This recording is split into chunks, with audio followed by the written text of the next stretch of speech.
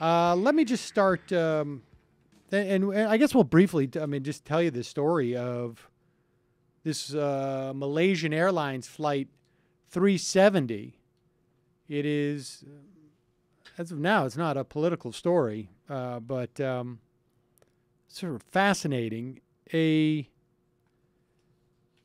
77, a Boeing 777, Malaysian Airlines took off from Kuala Lumpur on uh, Saturday, 1 a.m., which would have been, uh, I guess, Friday afternoon here, Eastern Time.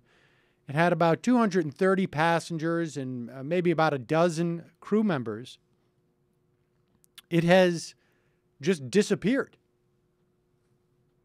There's um, no reports of an explosion, no reports of a mayday, no reports of anything found in the ocean. It just seems to have vanished without a trace. Uh, they are expanding the rescue zone, but it's been four days now. And they still have found absolutely nothing.